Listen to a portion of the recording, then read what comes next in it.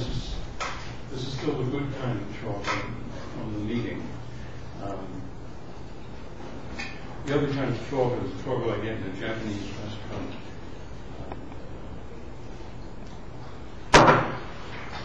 All right, so identical particles. Um, this can be a confusing subject. Um, and I think the, the clearest treatment that I know of is in a book by Cohen-Tannoudji. And uh, so I'm, I'm going to follow that treatment uh, up to a point, and then I'm going to add some stuff that are my own thoughts on it uh, in two places, in the middle and then at the end. Um, so the idea is that as far as we know, all electrons s- say all electrons with spin up are exactly the same.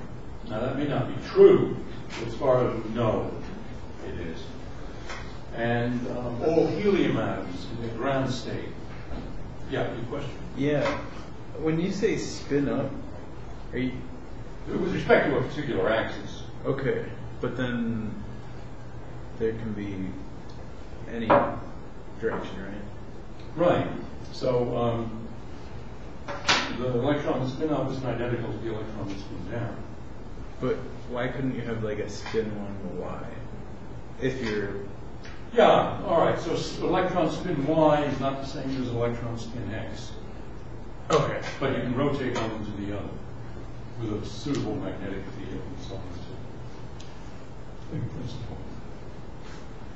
Um, or at least uh, you can have a beam, then you can select. Anyway. Um, so all helium atoms in the ground state are identical. On the other hand, if you have a gas of helium at very high temperature, some of them are going to be in the excited state, and so they're not all going to be identical. Um, in fact, that leads me to wonder about some of the applications of identical particles, um, especially to high temperature physics, because um, you know, at high temperatures, the atoms and even the nuclei would be in different states, and um, so they're no longer identical particles, and uh, whatever the statistics are they started with wouldn't apply at very high temperatures. Anyway, uh, I don't know if anybody's uh, pursued that uh, theoretically or experimentally. But, um, so the idea is that how to, the idea is that we have particles that are identical, and the question is how to treat them. And let me, let me describe, first of all, the kind of the, the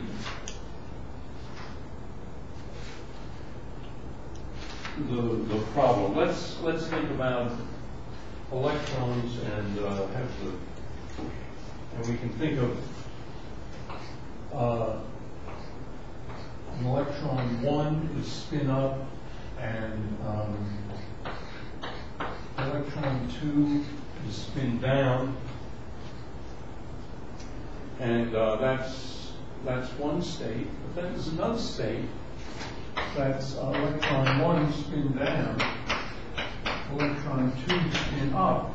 And since the particles are physically identical, these are two, these two states describe the same physics really, and that's called exchange degeneracy.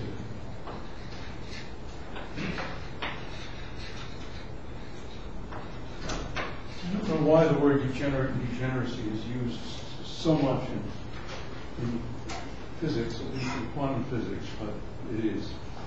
Okay. Now these states can form a space, alpha plus beta.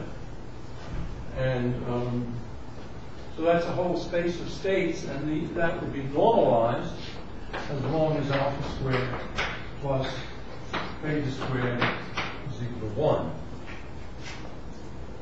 All right, and now, now let's consider the uh, probability of measuring for this system, measuring uh, both particles having spin in the x direction. Now, the spin in the x direction, you'll remember, is 1 over root 2. Whoops, x instead of plus. For a single spin, it is plus, plus minus. And um, we can actually, if you want, uh, I can show you how to derive that. That is a rotation.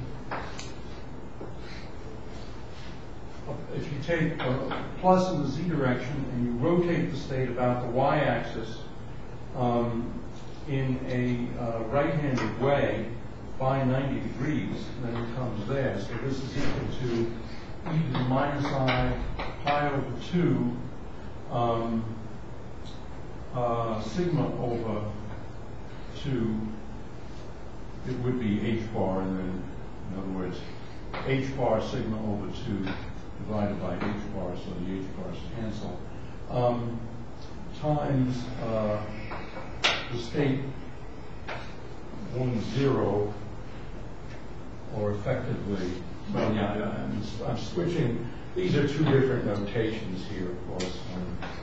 Plus is one zero, and minus is the same thing as zero one. And um, if you expand that, it would be cosine of um, pi over four uh, minus i, uh, whoop, this is sigma y, minus i sigma y sine pi over four.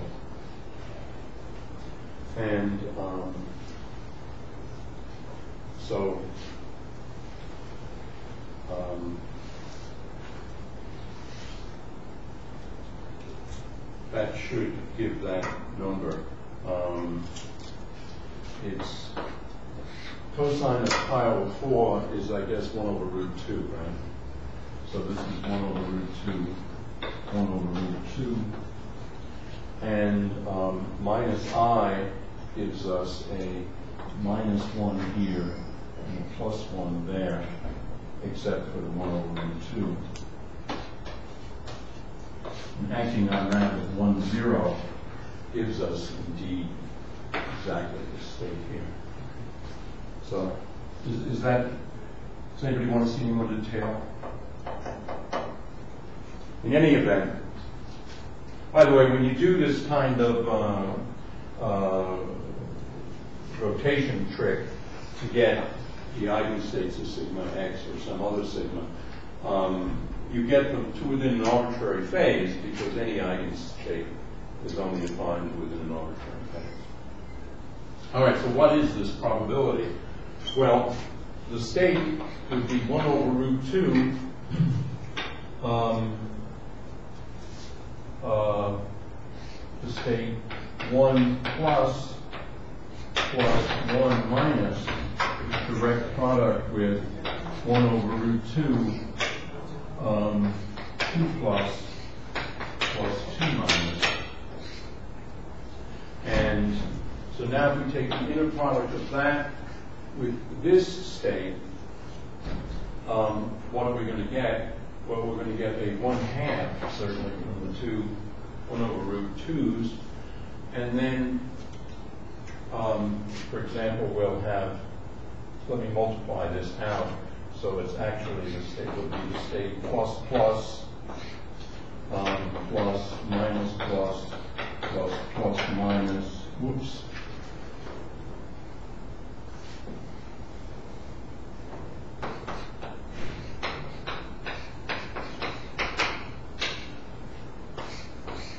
onto this alpha um, plus minus plus beta minus plus. So this would be the um, the inner product, and this would give us um, one half alpha plus beta, and so the so that would be the amplitude. So the probability of um, plus in the x direction, plus in the x direction would be uh, a quarter alpha plus beta squared. And so that depends, in other words, upon the alpha and the beta. And uh, as you then swing around this state, this space of degenerate, exchange degenerate states, all of which represent the same physical situation, you're going to get different probabilities for um, measuring uh, both spins to be in the x direction. So in other words, the, up, the bottom line is that this exchange degeneracy isn't just some mathematical curiosity, it has statistical significance. Yeah. How do you get two electrons in that state? How do you get two electrons what? In that state. The state YY? Or XX you mean? Yeah, just in general. Well, I, I, I guess, I'm keep this, okay. But um, I guess what you, you, first of all, you know, the way people did this in, originally was they talked about electrons attached to atoms, and in particular they were using silver in very early experiments. By the way, you were right about neon. It was, the inner shell of sodium is neon. Um,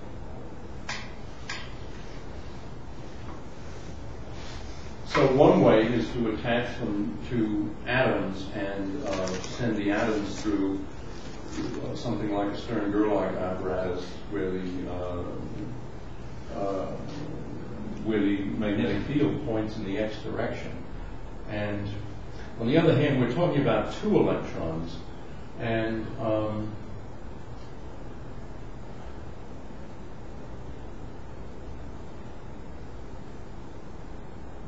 Um,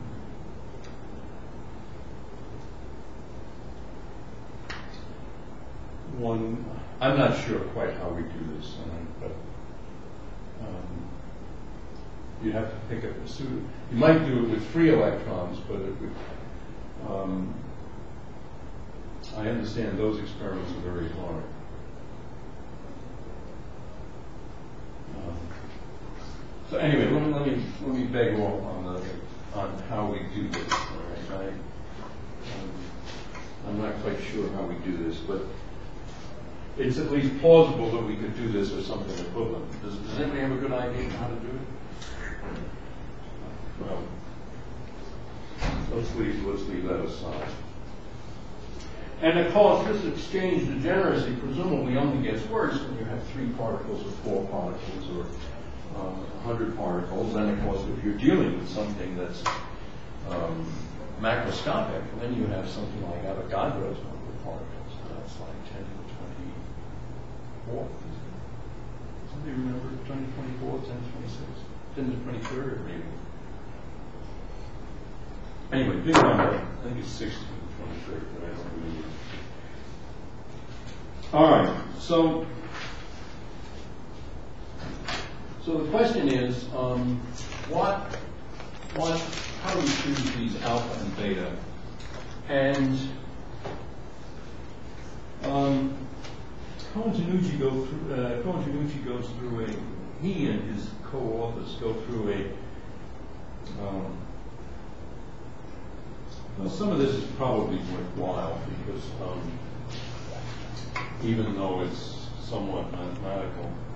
Um, first of all, if we have a state 1, um, particle 1 in uh, the state, say, uh, ui, and particle 2 in the state, say, uj, um, and we call this then uh, 1 ui, 2 uj, like that. Um, this thing is the same thing as 2 uj, 1 ui, which is then, um, say, 2 uh, uj, comma, 1 ui. So um, that's the tensor product notation that, that most people use. Now we can define a permutation operator, P21, say, on 1 ui, 2 uj, and what this does is it just turns this 1 into a 2 and the 2 into a 1. Like, um, like that. And uh, then we can rewrite that as one uj, two ui. So you can think of it as either changing the numbers or changing the state labels. This is a permutation operator. And um, more generally, if we had, um, say, P to one on a state one, R, and spin epsilon to um, R prime epsilon prime, then this would be two R epsilon one R uh, prime epsilon prime, and that would be the same thing as R- one R prime epsilon prime two R epsilon. So we're labeling these particles by one and two so that we take the right unit products. Um, now, we can imagine state psi, for example, it would be a sum over epsilon, epsilon prime, integral dq dar, dq r prime. Then we have size of epsilon, epsilon prime of r and r prime. And then on one r epsilon, two uh, r prime, epsilon prime.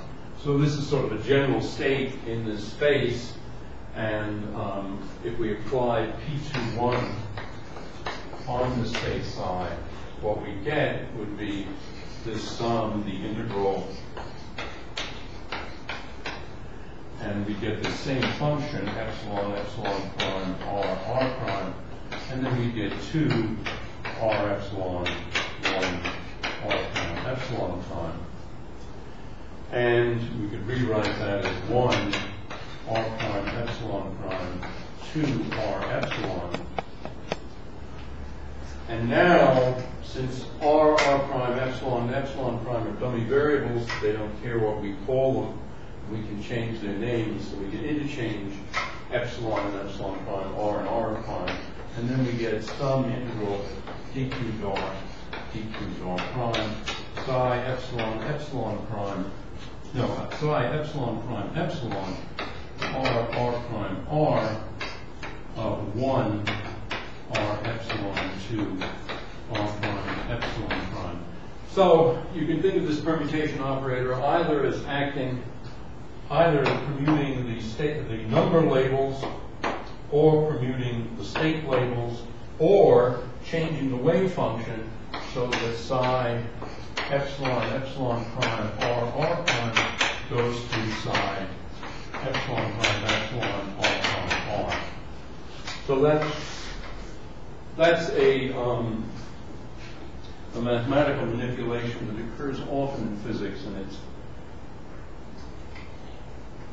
worth thinking about for a moment, um, even apart from the from the subject of um, uh, identical particles. Now, you can show rigorously that these operators P21 is Hermitian. You can also show that obviously P21 squared is 1. And since it's Hermitian, then it's, it is its own inverse, but its inverse is its adjoint, so it's also unitary. P21 adjoint is P21 inverse. So these transposition operators have all these properties. Okay. Now, we can then go on and define things. We can say that a, state such that P21 on psi S is psi S, we can call this symmetric. And then we can say P1 on psi A minus psi A, and this would be anti-symmetric. And um, the operators that do this are S equal to one-half, 1 plus P21. We're still in the space of two particles, two infinite particles. And A can be a half, 1 minus P21. And you can see that uh, these are both Hermitian. And um, you can show various other properties. I don't know if we need to show all of them but what you can show in particular is that um, P21 on S side is equal to S side, and P21 on A side is equal to minus A side. So S and A are respectively operated as symmetrized or anti-symmetrized and arbitrary state. Okay, now, what about observables? Well, if you have, for example, an operator of some kind, then P21 on, say, an operator P1, uh, P21 adjoint, so this is sort of a unitary transformation, although since the thing is Hermitian, it's somewhat artificial.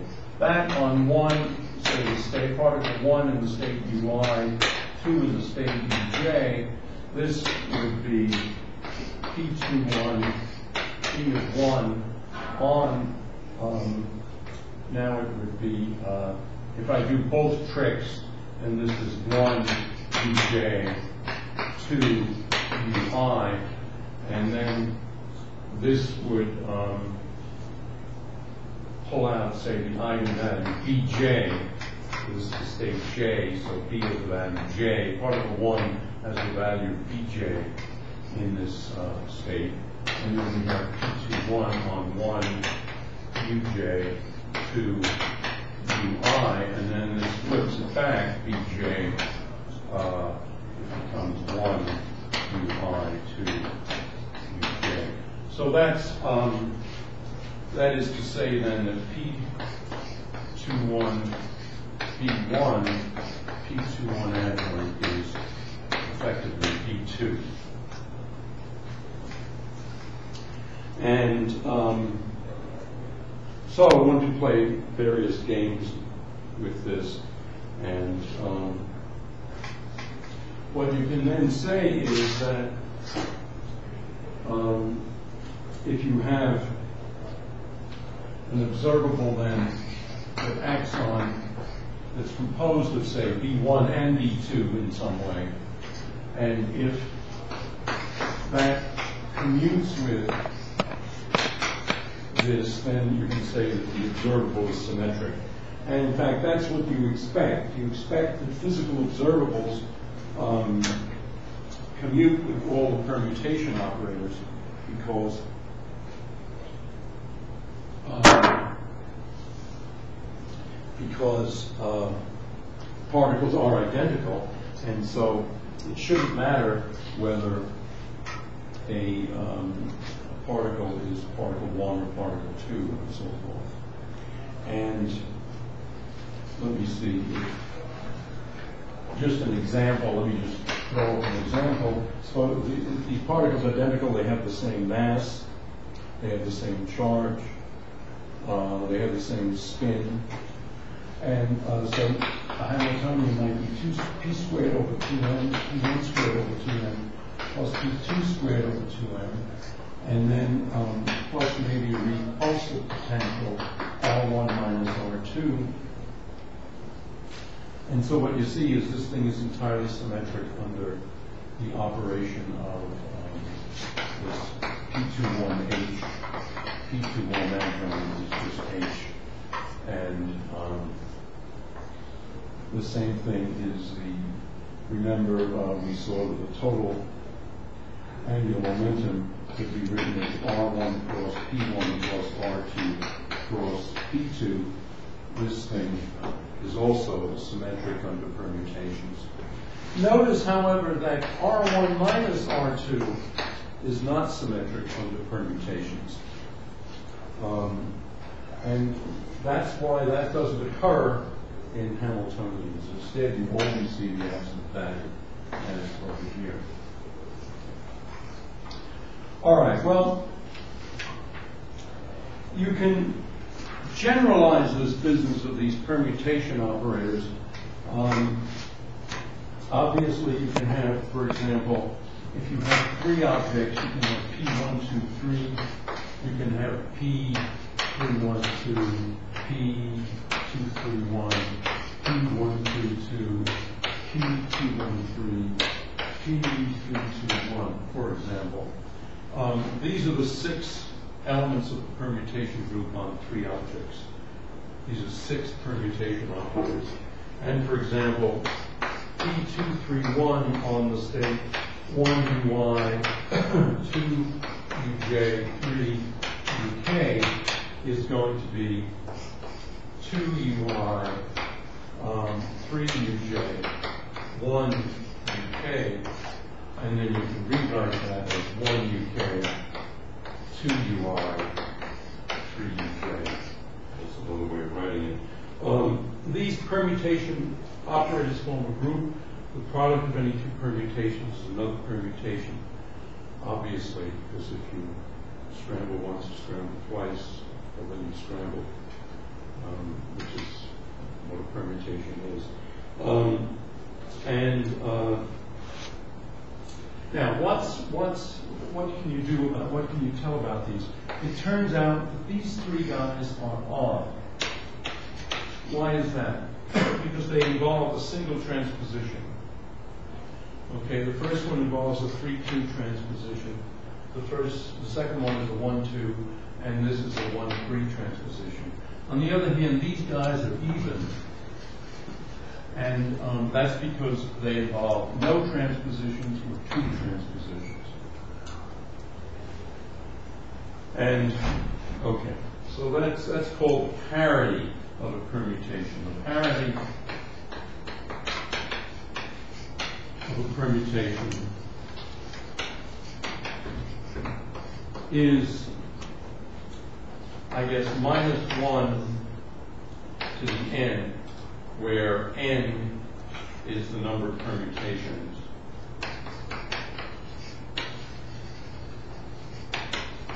And uh, this is something I forgot to mention. You can write any permutation as a product of transpositions.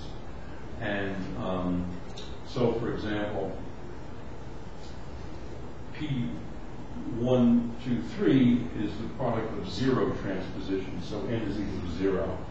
Um, P, as I said, P132 is just P, 3, 2. Um, this guy is a little harder. P312 uh, I'm guessing that it's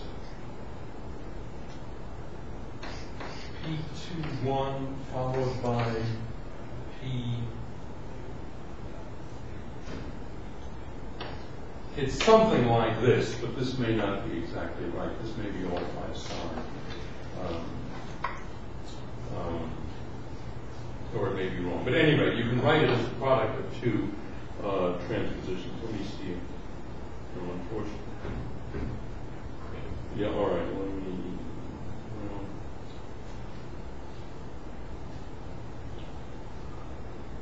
Yeah. All right. P, yeah. Another way of writing it, so that this may or may not, what I wrote may or may not be right, but what certainly is true is it's product of P123 times P213. This one, as I said, was a transposition of 1 with 2, and this is a transposition of 2 with 3. And so you can write it this way. But these decompositions are not unique. It can also be written as P221, P132, and as various other things. And all these permutation operators are unitary, but when you when you get away from transpositions, they're no longer Hermitian. And um, the next thing is just to think about um, uh, about a this minus one to the n, I'm going to call epsilon. That's the parity of the permutation. So it's either positive or negative, plus one or minus one. And remember, we had a symmetrizer over here, which was um, way back here, one half, one plus P21, one half, one minus P21. The generalization of that to n uh, permutations is that S is 1 over n factorial. Um, and n here is the number of objects. sum over all the permutations, that permutation, and the anti-symmetrizer is one over n factorial, sum over all the permutations, the parity of the permutation times the permutation. And so you can see that S and A are Hermitian.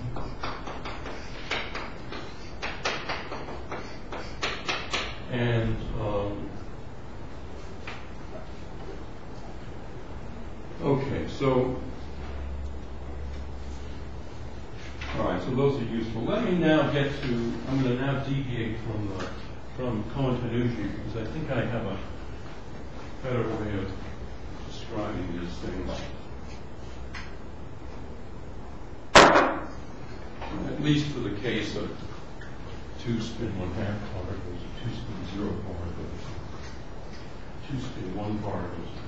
Um, all right, let's um, let me say what how I think of this um, symmetrization postulate, which is um, which is what um, uh, what we all know about, namely that you um, you remove this, you use the symmetrization operator to remove the exchange degeneracy if your system, if, if your particles are bosons, identical bosons, you use A to remove the degeneracy if your particles are identical fermions. So the, if, so if you have a state that's the state of fermions, you have P, I'm sorry, you use A, anti-symmetrizer, on the state of fermions, and this will be um, a physical state. So this is the physical state. And you use S on side boson, and this is again the physical state. And so in particular, in that example up there, you would have beta equal to alpha for bosons and beta equal to minus alpha for fermions. So for the example, you have alpha, alpha, um, well, since they're electrons, is the way I was thinking of it, you'd have beta equal to minus one. And so you'd use this state, and then you normalize it to be one over root two. So that's the, the application. Um, now let, let me say, uh, give you a different way of thinking about it. And the idea is that you, you use the operators of the, of the theory to make a state that doesn't distinguish between the particles or among the particles. And so, if you have, for example, a state where one, particle one is at position x and spin up, and particle two is at position, say, minus x and spin down, then um, what you want to do is you want to produce this plus Um, and now a physical operator that turns this into the other state. So in other words, the other operator, I'm going to call it u on 1x plus 2 minus x down. And let's, let's think what that operator would be. The operator, if you had one particle here is x spin up. Or let's let's do it simply with both spin up to start with, because this will be simpler. So one is at position x spin up, the other one is at position minus x spin up. Okay. Now what can you do to um, flip this around to the other kind? Well, you can do a rotation about the z-axis by angle pi. And so you say you take this state uh, which I can only abbreviate as x plus minus x plus plus e to the minus i pi, and it would then be sigma z over two. Acting on, and this would be sigma one z plus sigma two z, acting on the state uh, x plus minus x plus. And so, what this gives you is a factor of minus i in both cases. It will be, in other words, e to the minus i pi over 2 sigma 1z on 1 plus is going to be simply um, e to the minus i pi over 2 on plus, on 1 plus, and um, actually I lied, it's minus i, so this is minus i of the state 1 plus. On the other hand, e to the minus i pi over 2 sigma 2z on 2 plus is then the same thing, e to the minus i pi over 2, 2 plus and on the, I left out the x. So this one is at x, and and we instead of using um, sigma, we also use uh, L. So it's minus i pi Lx L L L z plus um, L1z plus L2z.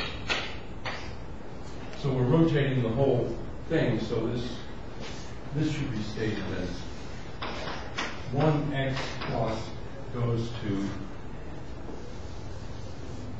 I was just doing the spin part here, so it's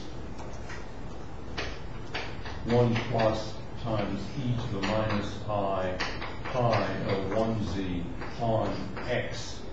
And altogether then this gives us minus i um, minus x, 1 in the state, minus x plus and if we do the same thing on this one with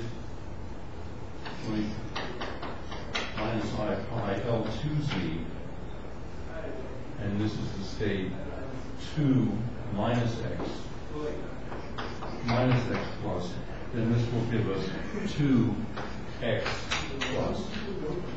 So in other words, the, which is to say minus i 2x plus. Okay? The result of this then is that this state is 1 x plus 2 minus x minus plus. And now minus i times minus i is minus 1 minus 1 minus x plus 2x plus. Okay? So in other words, if you prepare the state in a symmetrical way using a physical operator, then the fact that this is spin one half gives you the correct sign here.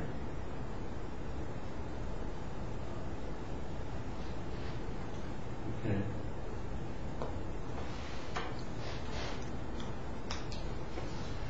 Um, so you might say, well, what about the case plus minus? Right? Or obviously the case minus minus works the same way. With the case minus minus, you just have two factors of i and you still get the minus sign. So you get as your physical state this, although of course you have to normalize it correctly with a 1 over square root of 2. So the normalized state is is uh, 1 over root 2 times um, x plus minus x plus minus minus x plus x plus. Um, so now we can think about, well, suppose these things would spin zero particles. Well, if they would spin zero particles, then we would we would um, we wouldn't need the spin operator at all. We'd just use the angular momentum to generate the rotation.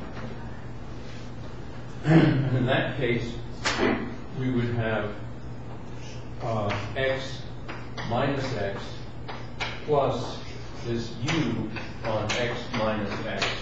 And this would just give us x minus x plus minus x x, which we then normalize uh, to 1 over 2 x minus x plus minus x x.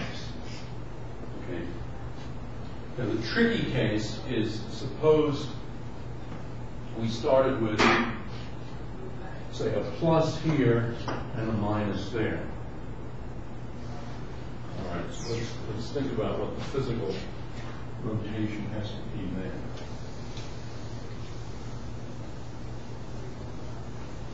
So,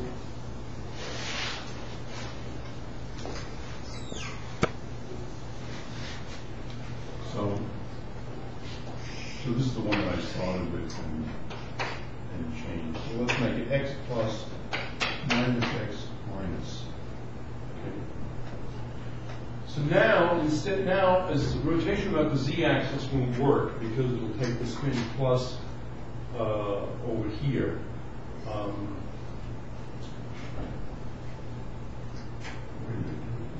would that work? Wouldn't it work? Couldn't you do that and then flip the spin of an operator?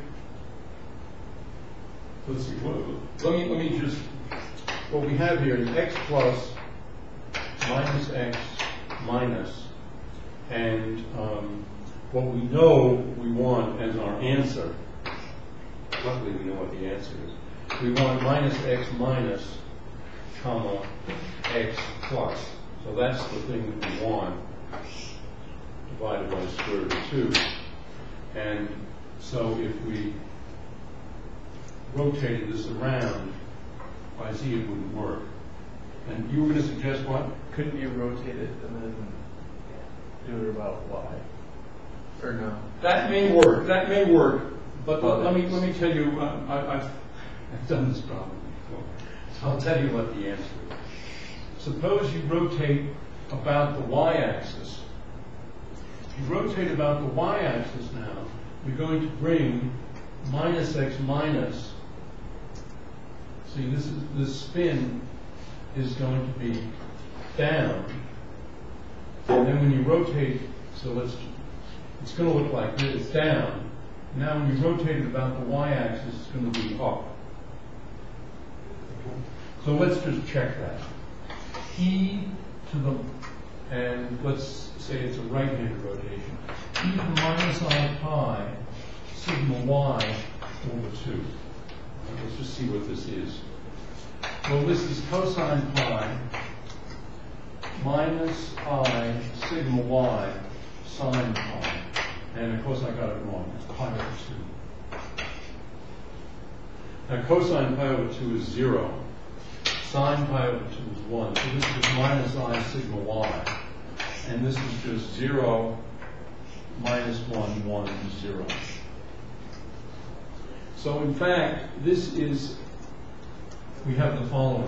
We have e to the minus i pi, I'll write it differently, sy over h bar on the state plus, well, it would be effectively 0, 1, minus 1, 0 on 1, 0.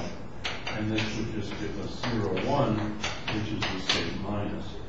On the other hand, e to the minus i pi sy over h bar on minus then would be 0 minus 1, 1, 0 on 0, 1. And this would be minus uh, 1, 0, which is minus plus. So this is a minus sign. Remember, we got a minus sign over here because we had two factors of i or minus i. Over here, we get a minus sign because of the rotation about the y-axis. If we get it for one of the states, but not, we get it for the minus state, but not for the positive state. So the orbital angular momentum, so in other words, we, we act on the e the minus i pi jy on the state um, x plus minus x minus And that gives us then um, minus, minus x minus uh, x, oops,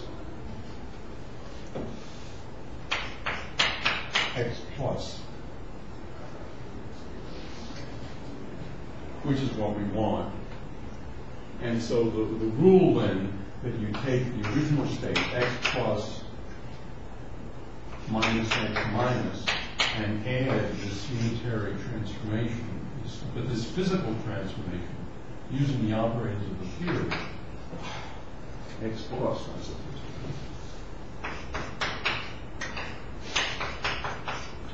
This gives us then x plus minus x minus minus minus x minus x plus, and if we normalize it, we get one over root two.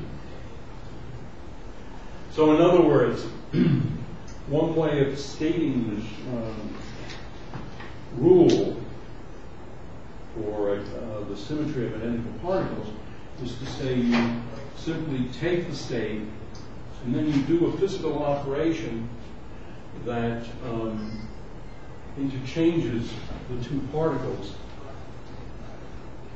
and um, that gives you the correct uh, the correct sign and permutation. And of course, if these were bosons, then the sign uh, wouldn't have occurred um, if they were spin zero. If they're spin one, um, so let me discuss spin one for a second.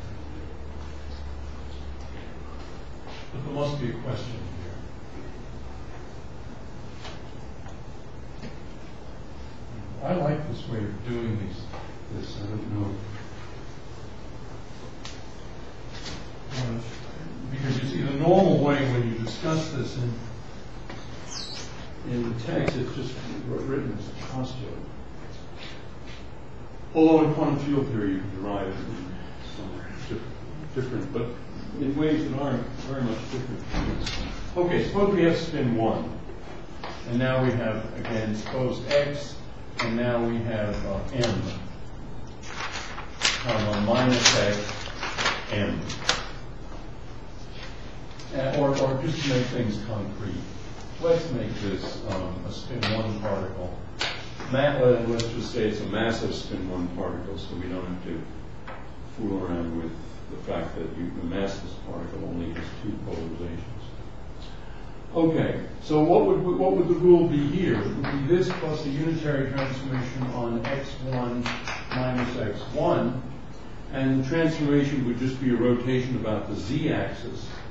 So this would be x1 minus x1 plus e to the minus i of pi jz on x1 minus x1. Well, now the orbital angular part is just going to turn x into minus x and minus x into x because it's a rotation about the z-axis. So we've got particles originally here, minus x1, rotates them like that.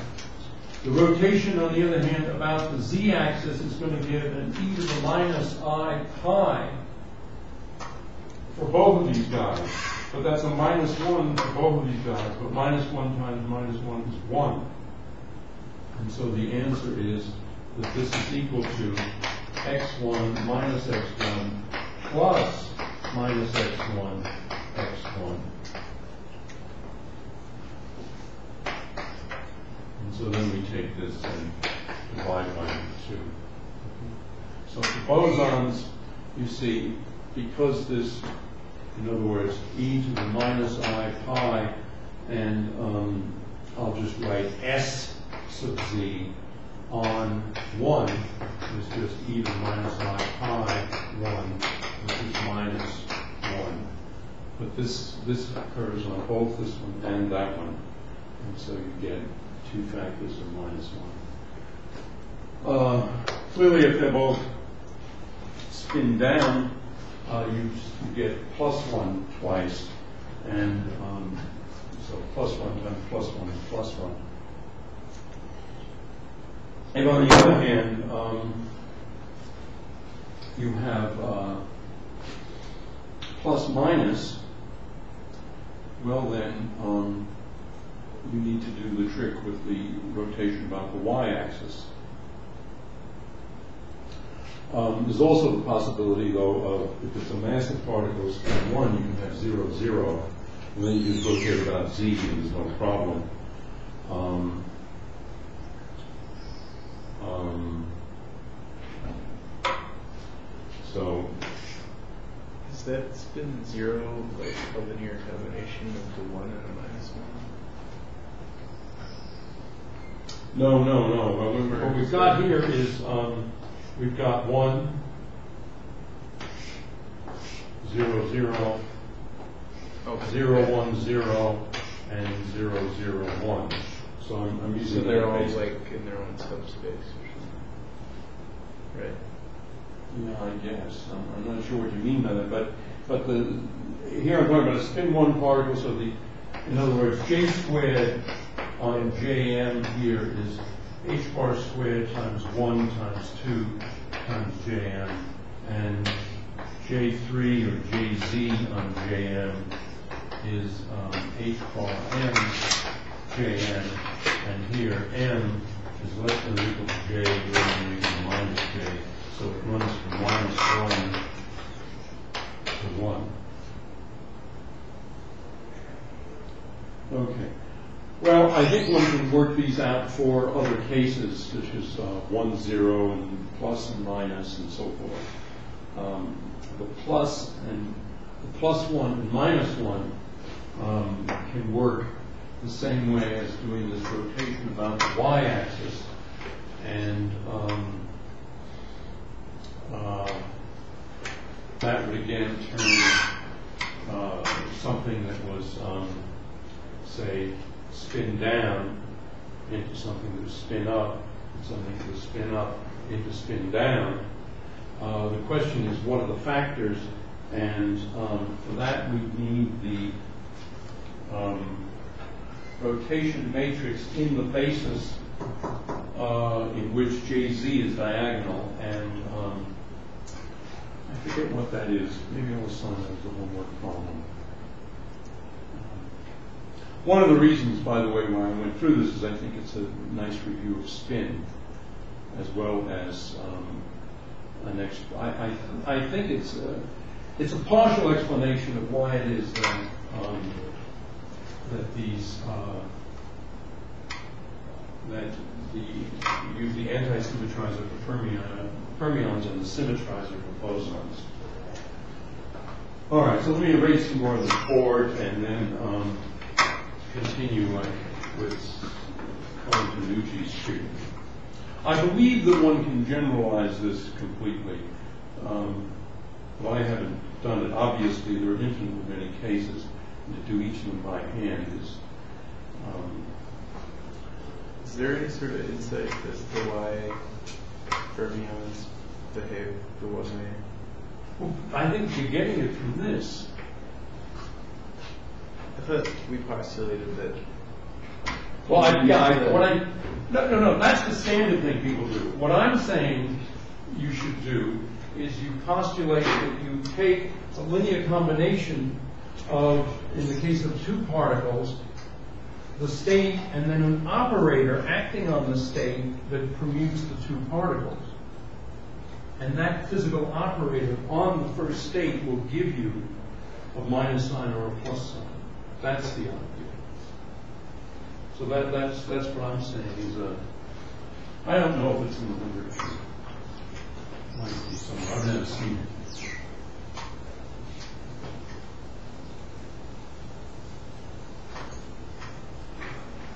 Anyway, that's how to remove the exchange from and and it associates, I mean, it gives you one rule, and then the, the, the physics of the, the mathematics of the spin then gives you the correct association between fermions and bosons. All right, let me get back to, to Cohen-Tannoudji's treatment,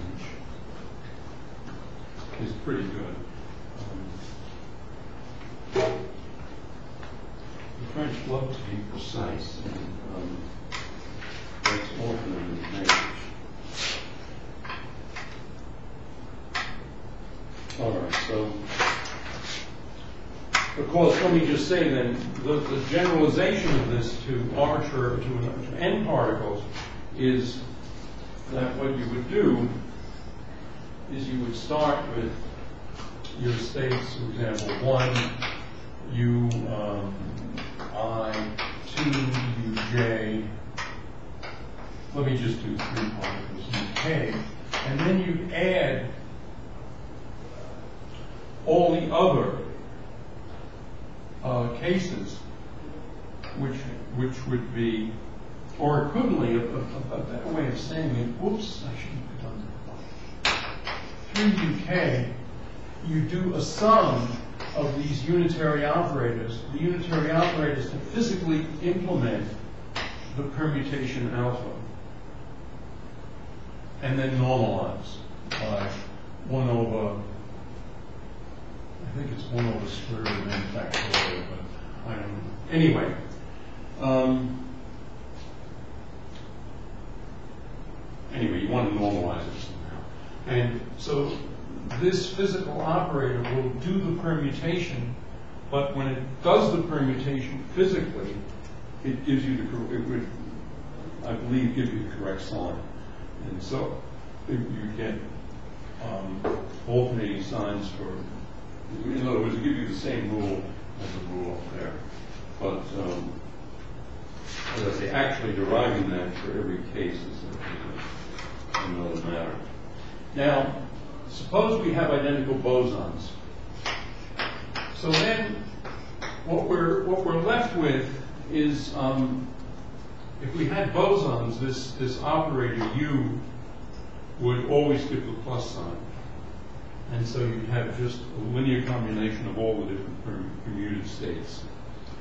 And um, what you'd say then is that the state effectively would have then, um, let us say, in one states, in, in other words, you could rewrite it as 1U1, 2U1, up to N1 Suppose the original state you started with was this, and then you'd have, um, well, you really have n1 plus 1, comma, n1 plus n2, th- th- this one in, this one in u2, all these in u2, and so forth, and you say then that there were n1 uh, bosons in state U1, N2 boson in state U2, and you write that in this occupation number uh, representation. So it would be um, N1 bosons in state 1, and 2 in state 2, N3 in state 3. And this particular thing then would be um, you could either write it in this way or you could write it in the mathematical way, but it would be a sum over all the, either all the permutations on the, uh, the original state, one, U1 up to this huge number. Again, you have to normalize it. Um, or, I guess you could write it as with these uh, uh, with these physical unitary operators. For the case of fermions, what's the maximum value of n, of these n1 or n2? All right, well, let's think about it. The point is that um,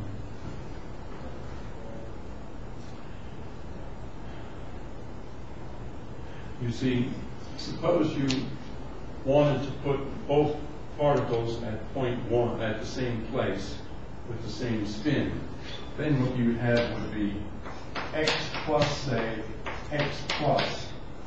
You'd have that plus this unitary operator on x plus x plus. But that would give you x plus x plus minus x plus x plus, and that's zero. So you can never have two fermions in the same state. And so that's a result of Huh? that's just a result of being in uh, identical or in Being identical fermions. the Pauli exclusion principle. That's the Pauli exclusion principle.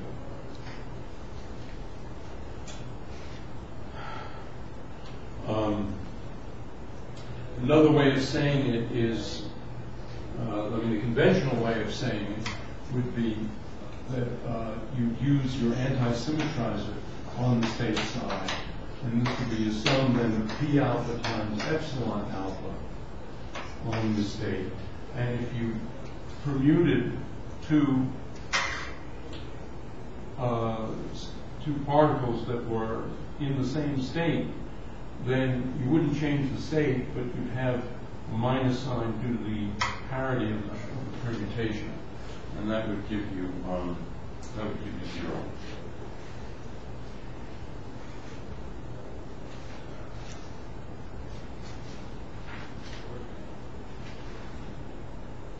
Now, in particular, these observables, as I said, because the particles are identical, the observables are um, symmetric under, under permutations of the particles and of the particle numbers.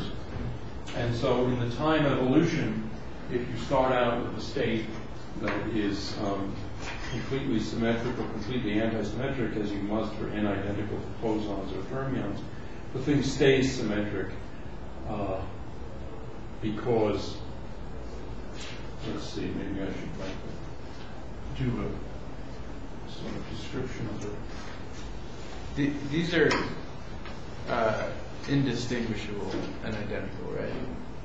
Indistinguishable and identical is, the same. We use it for the same, it means the same thing in physics. Okay. Now, whether, whether that's the best way of doing it, I don't know. Okay, suppose we have the symmetrizer e to the minus i h t on some state psi. And uh, suppose this state psi was already symmetrized. So in other words, um, in other words, is this state equal to e to the minus i h t psi? And in fact, what I want to say is I want to put another s there. And in fact, it is because, first of all, the symmetrizer commutes with the Hamiltonian, and that's because the symmetrizer is the sum of uh, all the permutation operators, apart from an overall constant. And the permutation operators commute with the Hamiltonian. Um, so if we start with a symmetrized state, then uh, then we can move the s through, and so this is equal to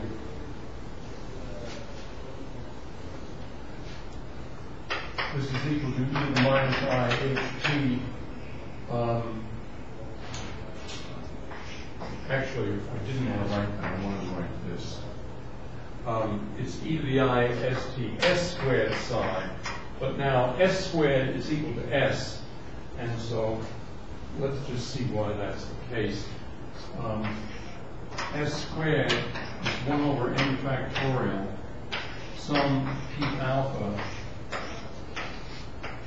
1 over n factorial sum p, say, beta. And so this gives us 1 over n factorial squared sum p alpha p beta. And actually, a better way of saying it is that the symmetrizer, well, the symmetrizer squared is one. We've essentially seen that. We've seen it over here for the case of well, maybe I should, let me, let me just show you this for the case of two particles, where it's easy to see that it's true. It's a little bit less easy to see that it's true in the general case. So, um, S squared here is, um, one half, one plus P two one, a half, one plus P two one. And this gives us a quarter, one times one is one. P two one times P two one is one. And then we get two P two one. And so this is a half, one plus P two one, which is S. So here S squared is equal to S. Um, over here, this P alpha, P beta is another permutation. Um, but these things form a group, and what, what you wind up doing here is you get all the permutations. You get each permutation, in this product over alpha and beta, you get each permutation n factorial times. So in other words, 1 over n factorial squared times the sum over gamma, p gamma, but this p gamma, and you get p gamma n factorial times. And so altogether this is s. So that means that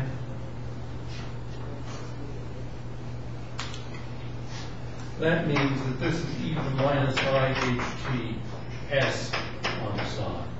So in other words, we start out with, if, if we have identical bosons, the physical state is s times psi, appropriately normalized.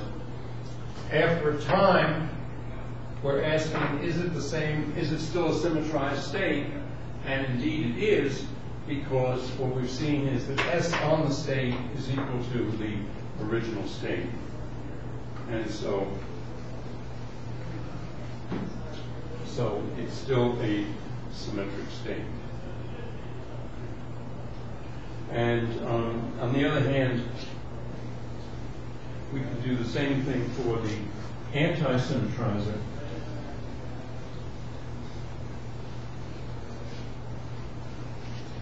I should have gone on a blackboard rather than erase this. Um, so let's recall what the thing is for two particles. The anti-symmetrizer is a half, one minus P21. A squared is a quarter, one minus P21 squared. That's a quarter, one minus P21 squared is, is one, minus two to 1. So this is A again.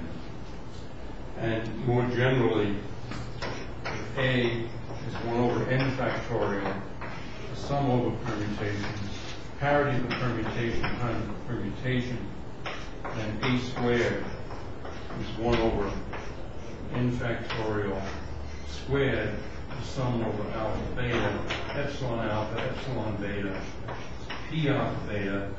Now, this will be, no, p alpha times p beta, sorry. Now, the product, this is a permutation that has um, a certain number of transpositions. And what's unique is not the number of transpositions, but whether that number is even or odd. And so, um, suppose we say that the first one has four transpositions, the second one five transpositions. then the product will have nine transpositions, and equivalently, it will have an odd number of transpositions. And of course, even times odd is, is odd, or minus, plus times minus one is minus one. So this gives you the same thing as A. And so if you start out with a, a state psi and then of identical fermions, and then you remove this exchange degeneracy by operating with A psi, you, you advance the thing in time, and then you test it with the symmetrizer. What you're going to get is e to the minus i ht a squared psi, and you're going to get then uh, e to the minus i ht A side. So the anti-symmetrizer on the state has no effect, which means that the state is already anti-symmetric. Um,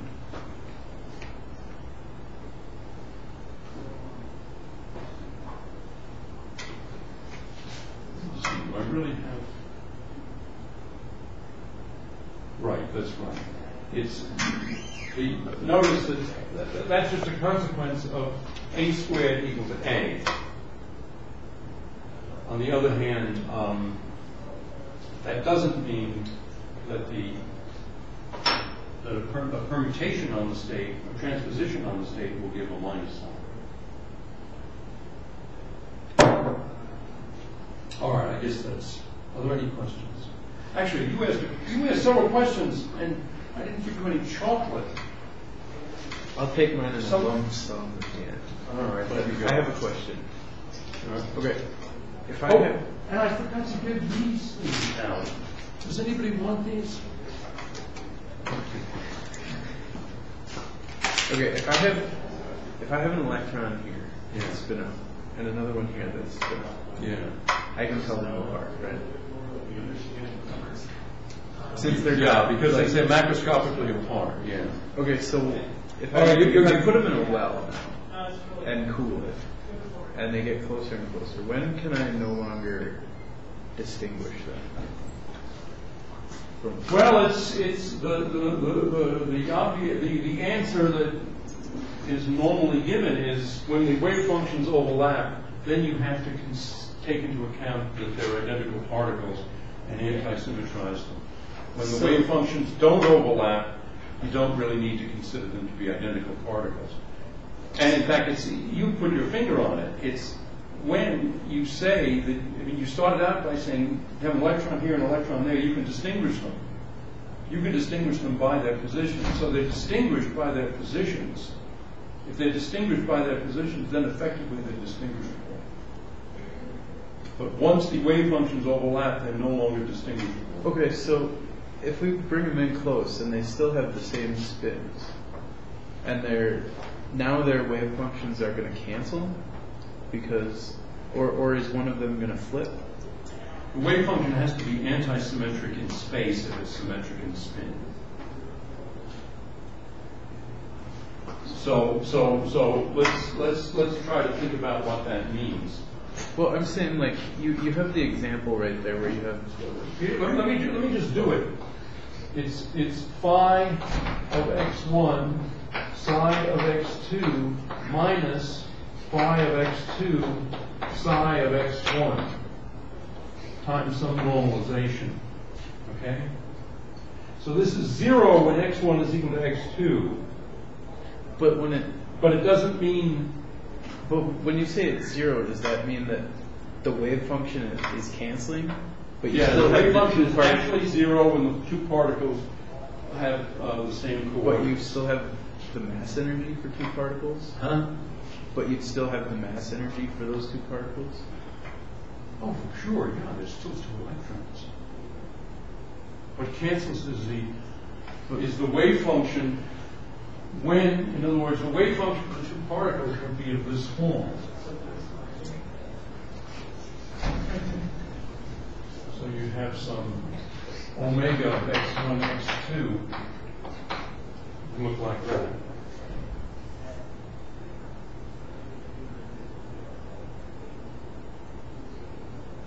I'm, I'm still a little confused. I mean, like, this says that if we have two electrons spin up and we get them close enough together, their wave functions will cancel. Right, so you can't get them, you can't, the probability of them being at the same spot is zero. Okay. But they can be close. And um, let, let- let me let me just emphasize something. Suppose you're talking about two hydrogen atoms.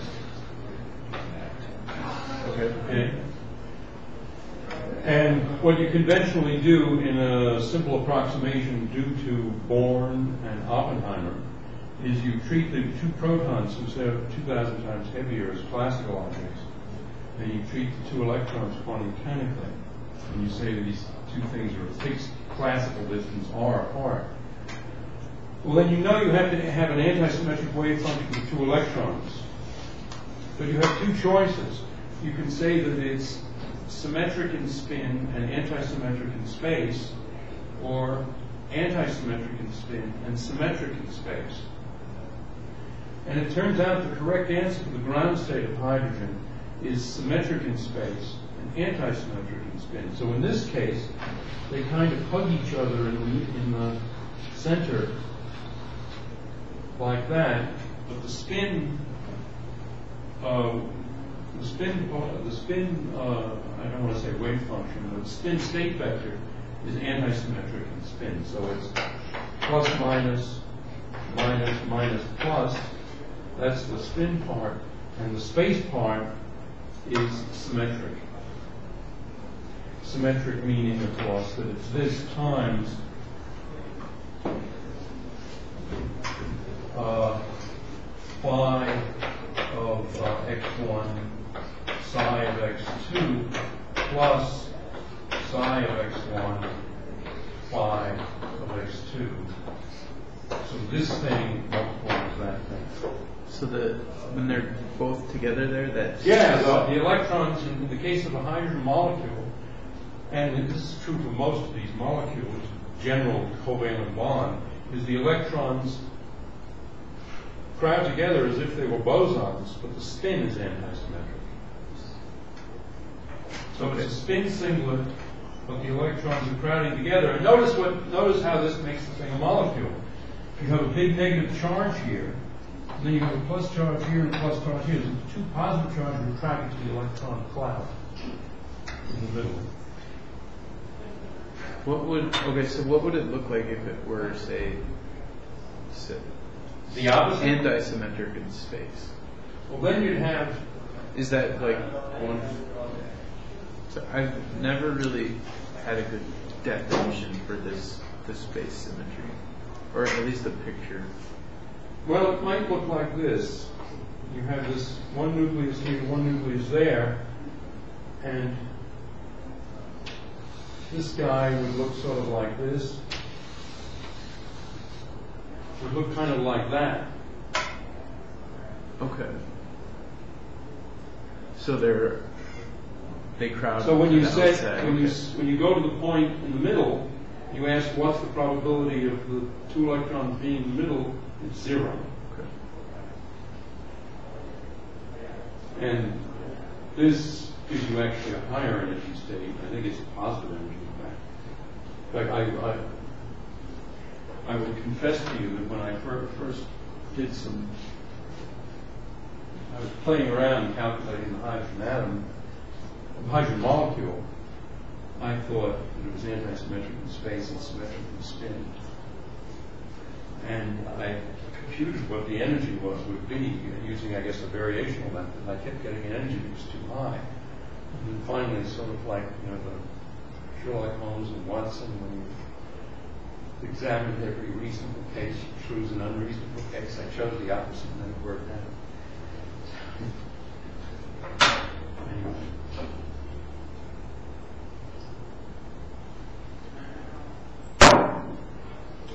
So any more questions? All right, well, we have spring, break coming up next week, so there's no class. And then uh, we'll start classes normally when spring break is over. But then we have two makeup classes, and we have to think about what we're going to do about them. You might as well turn the thing off.